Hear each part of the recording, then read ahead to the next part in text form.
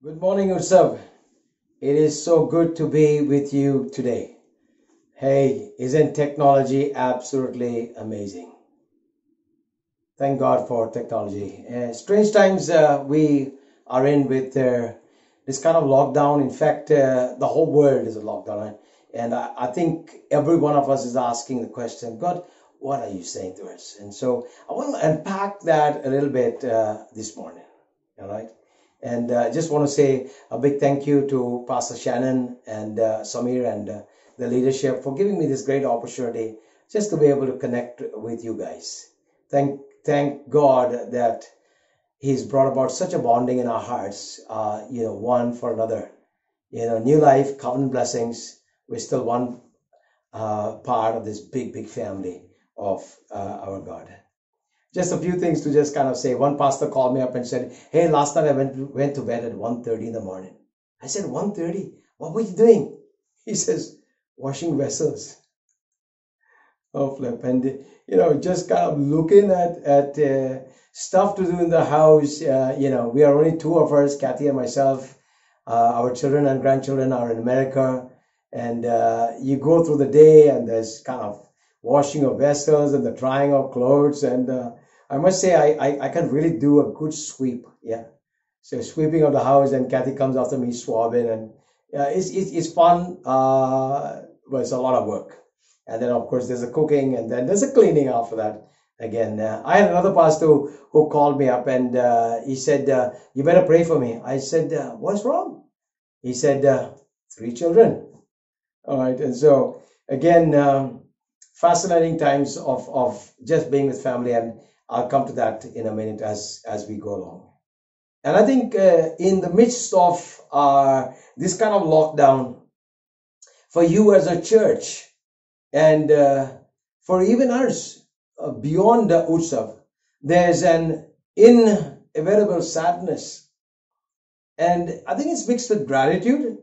There is grief, but there's also pleasure because we really experienced firsthand what Farah meant to us and how her life actually touched us. I think some of us may be still searching for answers this morning, and I just want to say to you that's all right. I want to say to you that, that and encourage you, ask the questions. It's natural to be able to wonder why this had to happen. I don't think Farah was planning to die when she did you begin to look at life, and life is like a vapor that appears for a little while and then passes away. And it just seemed like it was for us time to go. And friends, none of us actually know what's going to happen to us. Our lives are really fragile, aren't they? And I hope that this verse I'm going to share with you will, will bring you some comfort. It's, it's from Isaiah chapter 57 and verse 1 in the New Living Translation, the NLT. Good people pass away. The godly often die before their time, but no one seems to care or to wonder why. No one seems to understand that God is protecting them from the evil to come. And so, our prayer to God as we remember you and remember uh, our dear Pastor Shannon and Ananias is that, God will just come in a way that only He can with His comforting presence. And uh, as I bring to you His word this morning, I'm praying great peace over you. 31st of December 19, uh, 2019. For the last 12 years, uh, the Lord has blessed me with a word for our church. And uh, year after year, we've seen God come and, and uh, uh, in, in response to our faith, in response to taking those steps, in response to our action, He's just stepped in and we've seen breakthrough upon breakthrough by the word that He has spoken. And in the last three or four years, I felt the Lord actually give me the permission to take this word beyond our churches. And uh, I was to be with you on the 26th of January, and unfortunately that didn't happen. And this was the word that I was going to bring to you. So, so year goes. Five things that I felt the Lord say to me at the, the, the beginning of this year. Thanksgiving service, 31st of December, right in the night, coming into the first morning. This is what he said to uh, to us as a church. Five things. Number one, that this would be a year of redemption. And number two, that this would be a year of restructuring. And number three, that this would be a year of awakening and acceleration. And number four, that this would be a year of unprecedented growth. And number five, that this would be a year of discipleship. And wow, I mean, it's just four months into the word that has come to us. And I look back and I say, God, I had no clue because we know in part, we prophesy in part. I had no clue that this would actually unpack, talk about restructuring, and we'll, we'll go into that uh, as we go along. It's just very, very fascinating. And so l- let me just look at the year of redemption. I believe the Lord told me three things. Number one, that we will receive back what we have lost. Number two, that the past wrongs will be corrected. And number three, that we would have access to things that uh, we've not had. And so, number one, receiving back what we have lost. Um, I believe, and this is what I felt the Lord say, that revival is designed to start in families. And hey, when you look at this lockdown, we have a gift of unexpected time. And uh, with our families, with our children, all right, um, you're, you're, you're looking at the deeper connection with parents. Uh, times of fun. I think there are times where memories are going to be made and good stories are going to be passed from generation to generation. All right. There's a great awakening that is taking place in our home. Families reconnecting and uh, parents having uh, an opportunity to, to, to, to um, sow into the lives of their children, uh, to bring about a define, definition of what prayer means and what worship means in the family. I believe that we're going to see prodigals returning uh, because of this. We're going to see Acts 2, houses of hope and uh, houses of miracles and healings and deliverance and restorations. Uh, I believe that's what's going to happen in your home. Will you repeat after me this morning? My home will be a house of restoration. My home will be a home of healing. My house will be a house of deliverance. And I believe that during this time, we're going to see a lot uh, of, of giving and receiving of forgiveness. All right. And secondly, I believe there's going to be a, a, a correcting of a past wrong. And uh, in this, I, I just felt the whole story of Mordecai in the book of Esther. And, and you know, you, you begin to kind of look at the fact that I felt God saying when things are falling apart, they're actually falling together. You look at Mordecai and uh, he's got a few hours to live. Haman has prepared for him this gallows, 75 feet high, and uh, he's, he's going to be hung first thing in the morning. But that night, that night, the king cannot sleep and he, he calls his attendant and says, Hey, read out to me from one of the scrolls. Now, just to give you a little background of what actually happened during that time. Um, every week, we are told uh, by some historians that about a hundred scrolls were written across the kingdom. And uh, in chapter 2, it tells us a story about how Mordecai overheard two of the servants of the king planning to assassinate him. And he went and told Esther, who told the king. And when they investigated, found it to be true, the two servants were um, uh, executed. Now, chapter 2, chapter 5. All right. The gallows are now prepared for Mordecai. And in my mind, it almost feels like, you know, it just kind of happened. But when I look back uh, at, at history and look back at, uh, as I study this, I begin to understand that it's at least five years difference. So think with me, 100 scrolls a week into 52, into five years. That's a lot of scrolls. And the servant goes and picks up that scroll of that incident that happened five years ago. And he begins to read. And uh, the rest is history. If you don't know the story, I want to suggest you go home, pick it up, read your Bibles, because you can see when everything was falling apart for Mordecai, just in a few hours' time, it all falls together.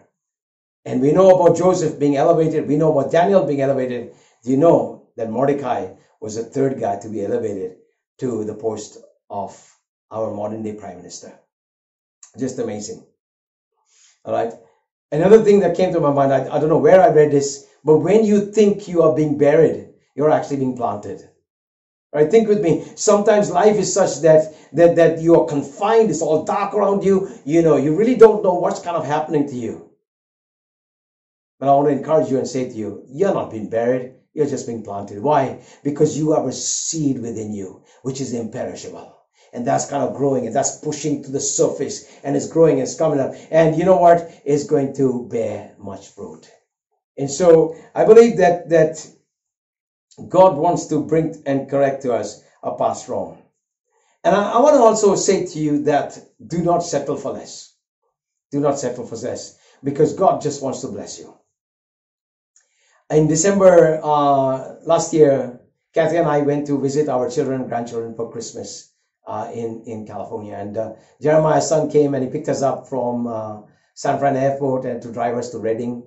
And it's about a four and a half hour drive. And uh, we are sitting and we're just absolutely delighted and full of joy and to, to kind of see him. And, and we're just kind of laughing and talking. And then as we go along in the journey, uh, you know, um, he begins to talk to me and, and, and, and uh, tell me something in Hindi and then sing a, a song. And uh, for as he's talking I, I, think I think to myself, has God written this song? God's my son-in-law is quite a joker, and uh, you know, has he written a song? And uh, and then uh, you know, Jeremiah is telling me he's singing it, he's laughing, and it sounds kind of Bollywood type. And you know, if you know me, me and Bollywood don't really get on together too well. And so anyhow, uh, when we reach um, Redding, I, I, I go onto the net, I go onto YouTube, and I look at this song, and actually, it's from a Bollywood film. And uh, it, it, it, it goes like this. Uh, when you're getting gold, uh, why go for tamba?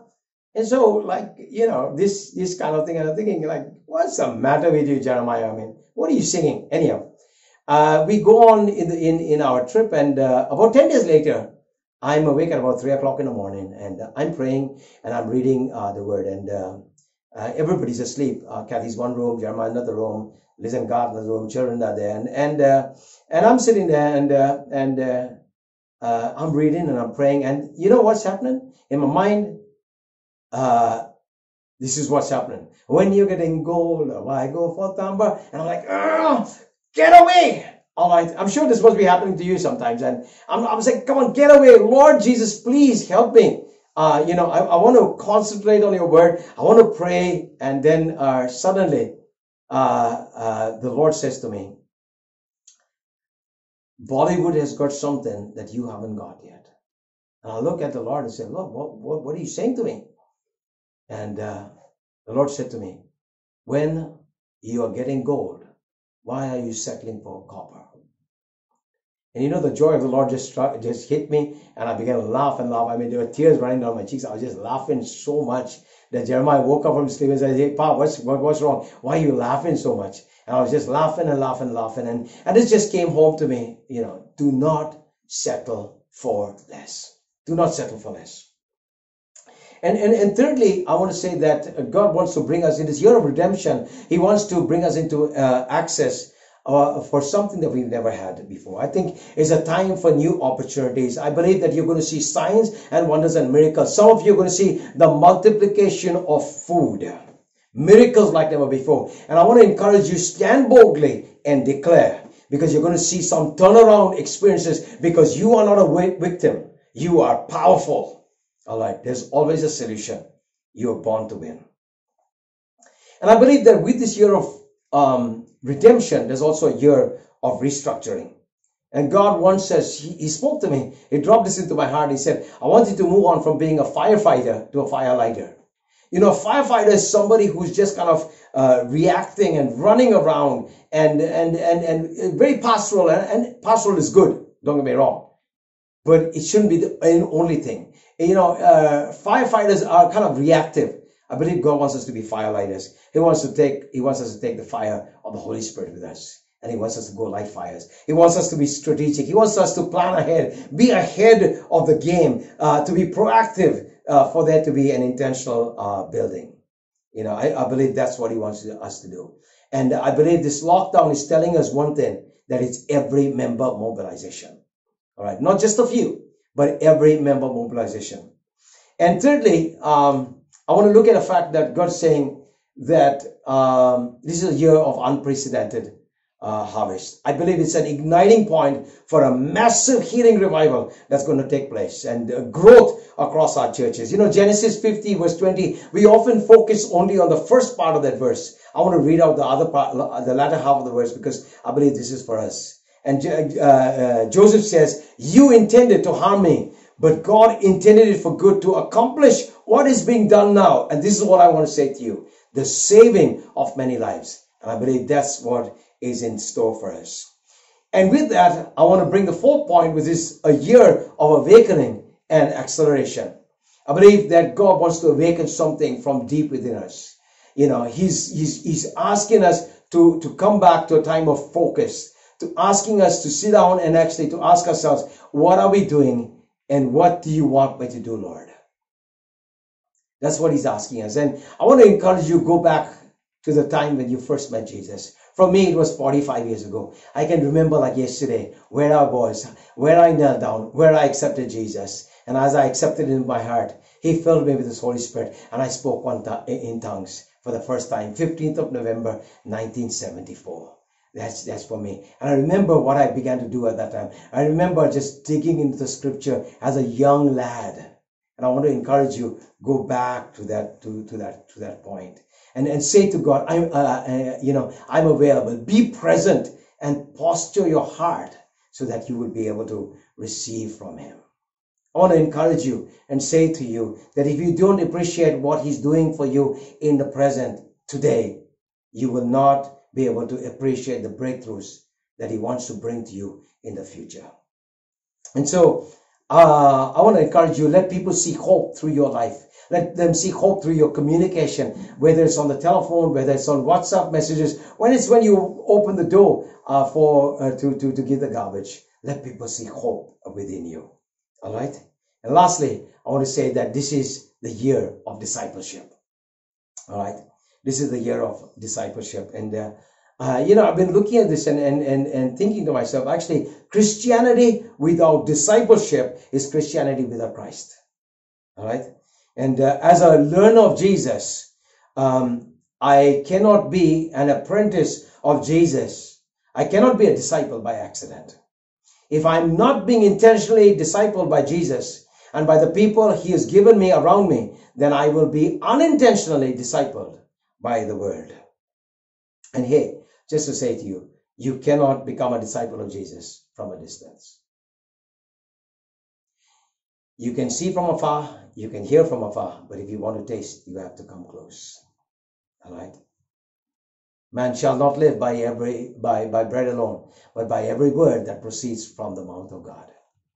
I live because he speaks. And I want to encourage you as I close this morning, just by repeating those five things. A year of redemption, number one. A year of restructuring, number two. A year of awakening and acceleration, number three. A year of unprecedented growth, number four. And a year of discipleship, number five. And so maybe you want to take one of those points and you just want to ask God, where am I in this? What are those things that I'm feeling are falling apart? Where is it that I'm really feeling buried? God, what are you saying to me? In what are those things that I have settled for less? Where is it that my soul needs to be awakened? And my soul needs to come into submission of, of my spirit. Where is it that I need to fall in love with Jesus all over again?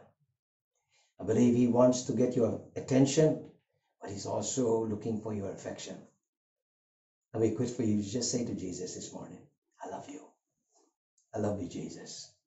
Let me say that He's made all the difference in my life. I love Jesus.